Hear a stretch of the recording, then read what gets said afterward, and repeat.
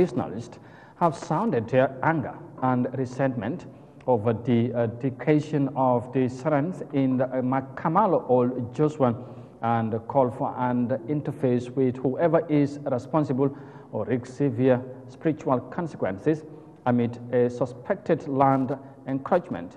Moses Mendy again has more details of that in this report. The shrine site in Kamalo is a place where traditionalists converge every Thursday for spiritual devotions to pray and appease the spirits believed to be housing there. They consider the shrines as sacred grounds for the practice of all beliefs and traditions inherited from their parents and those before them.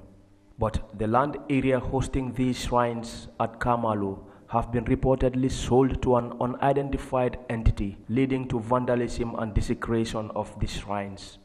Traditionally identified places are largely respected and feared in African communities, and the enraged worshippers of the old belief have now pronounced calamity on those responsible for the violation unless talks are held to settle the matter. Maria Majata is one of the discontented persons, and she said whoever is responsible for the illegal destruction of the shrines will be punished. When you get to a place and see things you have never seen before, you must ask to know what they are about. We came to meet here on a Thursday and discovered that the shrines have been desecrated and we were shocked and did not even know what to do. Entering this place was a challenge. Ourselves, we do not know much about this place because it was our grandparents that started it and we were kids at the time. Even me, who is speaking to you right now, I cannot really tell you what is here because I know only a little about this place. We, we inherited this place from our grandparents, and what they showed us is all we know. The destruction of the shrines is huge, and so many idols are violated here. Whether it was done intentionally or unintentionally, we don't know. But we do know that they have spoiled something we believed in, and it pains us because there are people whose needs depend on this place. If you hear Banjul today, it's this place that owns Banjul. Because when things get tough at Banjul and they come here, God usually takes care of their needs.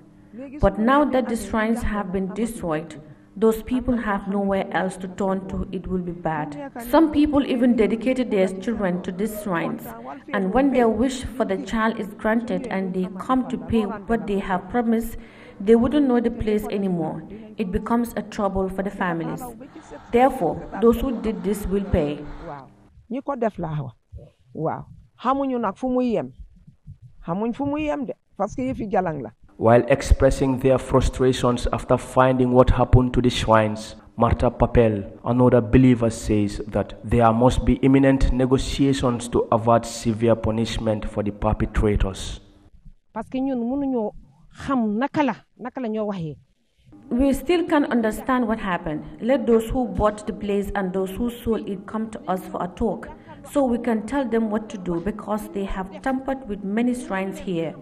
If they fail to do so, consequences will be unleashed and calamities will befall them.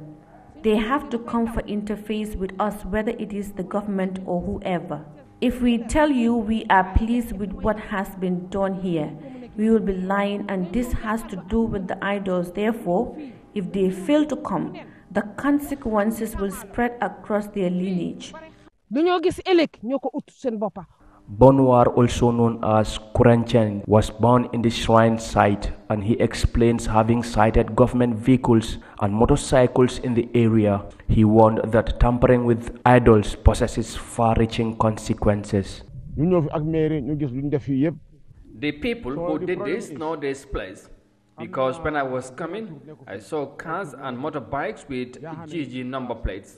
I know that it is the government, and top of that, we came here and see what has been done to the shrines.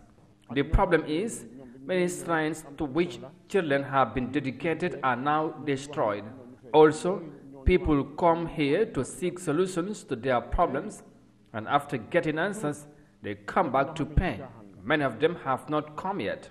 While idols are not something people should joke with, because when some tampers with them, they make so the person together with the children and grandchildren suffer the consequences. We do not wish that for anybody. That is why we call you so that those who sold or bought the land can know the risk. The shrine site in Kamalo is one of the very old places in the Gambia, and having existed for more than four decades, it has survived the country's first, second, and now the third republic. For Eyeafrica News, I am Moses Mendy.